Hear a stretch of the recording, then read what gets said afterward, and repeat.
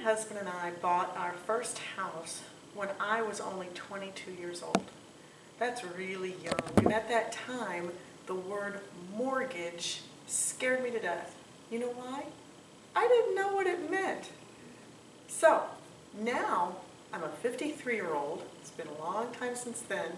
And I still have things that kind of make me apprehensive and uneasy.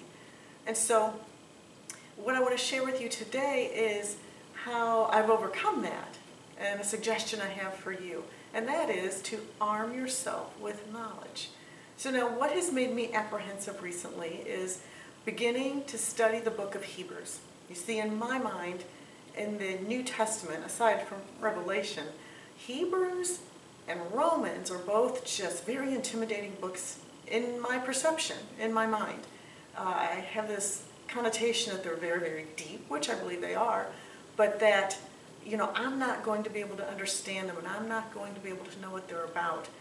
And so when recently I began to study the book of Hebrews, I thought, okay, what can I do to help myself? How can I arm myself with knowledge? And so what I did was I read multiple introductions to the book, different Bibles that I have, different commentaries, and I just tried to get an overview. I took advantage of someone else's research and understanding and intelligence to help me. And so when I did that, it gave me a great frame of reference. And what I learned and found out is that the book of Hebrews was written to converted Jews, you know, Jews who were practicing Christianity, who believed in Christ, but at the same time were being tempted to fall back into Judaism because they were being persecuted. And so that really helps me now as I read the scriptures in Hebrews that I keep that in my mind, you know, who it was written to and what they were going through. And now, 2,000 plus years later, we all do the same thing. You know, so when we're tempted to fall back, you know, into our old ways, how do we stay the Jesus course? Well, we arm ourselves with knowledge once again. And how do we do that? Well, we do it with the Word. We do it by studying the Word and staying in the Word and being focused on Christ and His example to us and what He calls us to do.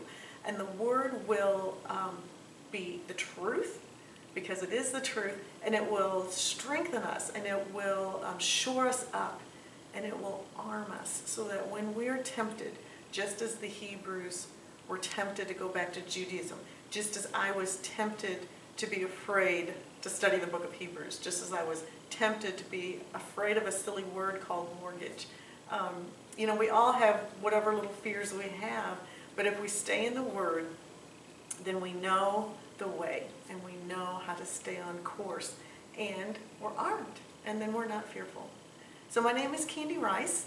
I am the uh, founder of Living Hope, and this is a ministry where I share healing truths that the Lord taught me as I went through depression and as He brought me healing through it. And I'm happy to come speak at any event you're having. Just contact me through email on my website, and that address is candyrice.org, or you can contact me through Facebook as well.